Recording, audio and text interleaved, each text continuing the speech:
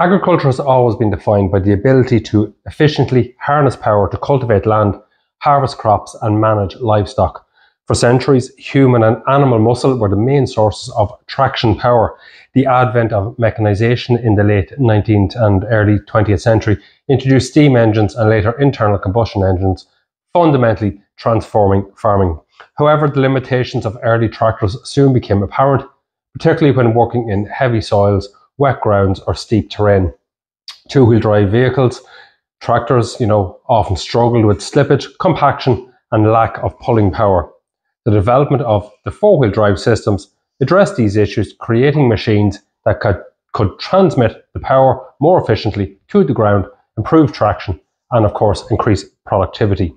Well, hello everybody, you're very welcome back to the channel, and yes, I am back been off for the last month or so. Just I have a couple of things that uh, I needed to get wrapped up on. A couple of projects that I have ongoing. Um, I'll fill you in a little bit more later on in the videos. Um, no other reason than I just needed to take that time to get those, get on top of those projects. But I'm back with a bang. Uh, the type of weather now to be making videos. It's the type of weather that people are going to be sitting in watching uh, videos like this. And today we're talking about four wheel drive. And a day like today in the west of Ireland, you would definitely need a four wheel drive system because it is absolutely atrocious. Anyway, without further ado, I'm not going to waffle on too long. We're going to get straight into today's video, and it's all about the history and the development of four wheel drive systems in agriculture. So, the story of four wheel drive in agriculture spans more than a century involving early experiments, post-war innovation, the rise of articulated high horsepower tractors and the introduction of mechanical front-wheel drive, and eventually sophisticated electronically controlled systems that we see today. This story traces the history and development of those systems from primitive beginnings to their widespread adoption in modern agriculture. So looking at some early experiments with traction in the 1900s, so the first decades of mechanized farming were dominated by steam traction engines and later petrol and kerosene powered tractors, such as those from the Fordson um, Hart-Parr International Harvester. These machines were heavy and primarily rear wheel driven, relying on sheer mass to achieve the traction. While suitable, um, you know, on firm ground, they quickly bogged down in, you know, hilly or steep, uh, muddy conditions. Inventors began experimenting with ways to distribute power to all four wheels. And in 1912, the Holt Manufacturing Company, who we all know later became Caterpillar, experimented with crawler tracks, an alternative to four wheel drive that improved flotation. Meanwhile, companies like the Walter Motor Truck Company in the United States and four wheel drive uh, auto company, they were building four wheel drive trucks. The first known agricultural four-wheel drive tractor prototypes appeared in the 1920s and the 1930s. Companies such as Latil in France produced four-wheel drive forestry tractors which inspired agricultural adoption. However, the cost, complexity and lack of durable driveline technology limited its adoption. Most farmers continued to rely on four-wheel drive tractors paired with steel or rubber lug wheels that we would have seen back in the you know, the 30s and the 40s. So looking at post-war innovation then from 1940 to the 1950s, after World War II, agriculture faced increasing demand for mechanization, larger farms, especially in North America. So they needed more powerful tractors to pull heavier, bigger implements. The limitations of two-wheel drive became more acute and experimentation with four-wheel drive accelerated. In the United States and Europe, surplus military vehicles, you know, equipped with four-wheel drive, were sometimes repurposed for farm work, showing farmers the advantages of the system.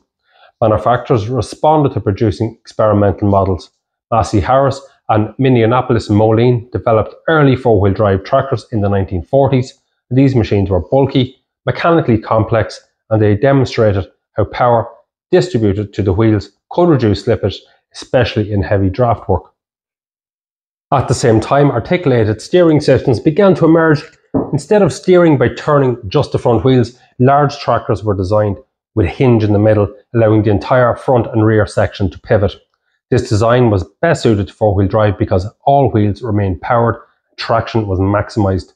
Early articulated prototypes laid the groundwork for the high horsepower tractors, you know, of the following decades the pioneers of four-wheel drive, so in the 1950s and the 1960s. So in the 1950s and 60s, that marked the first successful commercialization of four-wheel drive tractors.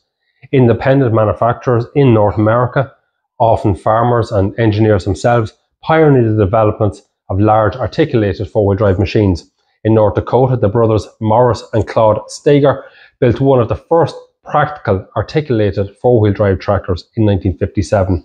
The Steiger tractor was initially a farm-built machine, but its success led to the establishment of the Steiger Tractor Company, which became obviously a dominant force in the four-wheel drive tractor market. Similarly, companies like Wagner and Versatile in Canada, they entered the market producing li- large, high horsepower tractors designed specifically for prairie farming. So just to take a quick break and just to explain a few things. So yeah, as I mentioned at the start of the video, I have been working on a few other projects and anyone who regularly watches this channel will know that I have been working on a podcast and yes, it's still ongoing. I'm still compiling episodes and I want to have about between 10 and 15 episodes before I release the first. I have six or seven of them done at the minute. I had hoped to you know, launch it sometime around the end of September into October. It'll probably be a little bit later, but I am working on that. And, you know, it is, you know, it's, it's still an ongoing project and I'm working hard on it and it is taking shape. Um, the other big project that I have been working on is um, the Agri-Motive store. So we will have the Agri-Motive store um, will be opening up within the next two to three weeks. So that will the, the, the website is built, products are going on at the minute. Uh, the website will be going live within the next two to three weeks. So to start off, to be about you know between ten and fifteen different products on it, and this will range everything from um, handy little multi tools to um, uh, measuring equipment, micrometers, uh, vernier calipers. I'm going to have electronic or electrical testing equipment uh, like multimeters, amp clamps, um, laser temperature sensors, and then I am going to start releasing um, special tools for various uh, various machines, various jobs. Uh, probably will be more John Deere uh, related to start off because I have the blueprints for a lot of the John Deere tools uh, and a lot of stuff that is open up to um, opened up the copyright that can be reproduced uh, without any issues. So I do have to be careful around things like that, but there will be tools and equipment coming online bit by bit. We'll start off with 10 or 15 different products. There will be lubricant section on it as well. So I have teamed up with um, a, a, large lubricant company in Ireland, and there will be lubricants going onto the onto the site as well. So that's Agri-Motive Store, and it will be coming online very very soon, and uh, you will be hearing a lot more about it. Um, so if anybody's interested, keep in touch, and I'll let you know where you can find more details. In Europe, different approaches were taken. Instead of large articulated designs, companies like ZF and SAME, you know, they pioneered mechanical front-wheel drive assist systems. These systems transferred power to the front axle via shafts and gears, creating part-time four-wheel drive.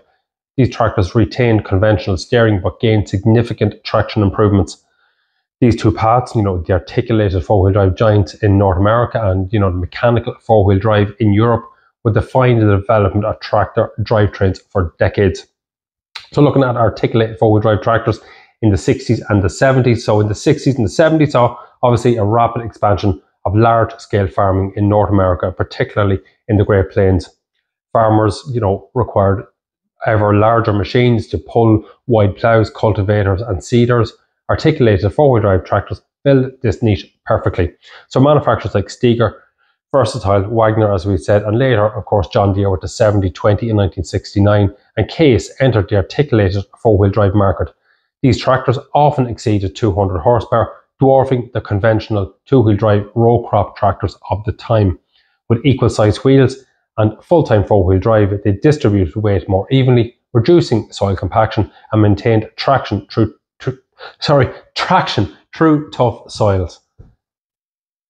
However, these machines were primarily suited to broadacre farming and less practical for smaller European fields. Their high cost and large turning radius made them less popular outside North America, though they gained foothold in, of course, Australia and parts of the Soviet Union.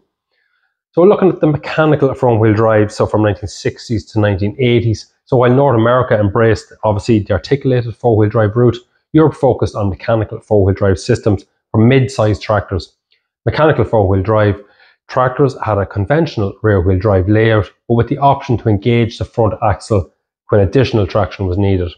SAME in Italy were a leader in mechanical four-wheel drive, four-wheel drive uh, technology as early as the 1950s, producing practical four-wheel drive tractors with equal-sized wheels. ZF developed front axle systems that could be integrated into tractors from manufacturers like Massey Ferguson, International Harvester, and Ford. And of course, by the 1970s, mechanical four wheel drive was becoming increasingly common, especially as hydraulic front wheel assist systems gave way to more robust mechanical drives. Worldwide, mechanical four wheel drive began gaining popularity in the 1970s and the 1980s. Farmers recognized that mechanical four wheel drive tractors offered many of the traction benefits of articulated tractors, but with greater versatility and, you know, obviously, and it had row crop operations then as well. So by the 1980s, nearly every major tractor, tractor manufacturer offered mechanical four-wheel drive options, and the adoption of it obviously skyrocketed in the 80s. So looking at hydraulic and hydrostatic systems, so alongside mechanical solutions, some manufacturers experimented with hydraulic or hydrostatic four-wheel drive. Yeah, the, the systems, you know, to use hydraulic motors to power individual wheels or axles, offering flexibility and simplicity. Hydraulic four-wheel drive was especially attractive for harvesters and special equip, specialist equipment where space constraints or variable traction conditions made mechanical shafts impractical. Self-propelled combines, you know, forage harvesters, sprayers, and often employed front-wheel drive assist systems that could be engaged when needed. Although less efficient than mechanical drivetrains, hydraulic systems proved invaluable in certain niches, particularly where you know maneuverability or variable speed control was critical. Uh, and speaking from the experience when it comes to the tractor end with, with you know hydraulic or hyd- hydrostatic four wheel drive, obviously everyone remembers anyone who was involved with John Deere in the 70s and the 80s. You know the 4000 series and some of the lesser models had the you know the that famous front wheel assist system, the hydraulic front wheel assist system.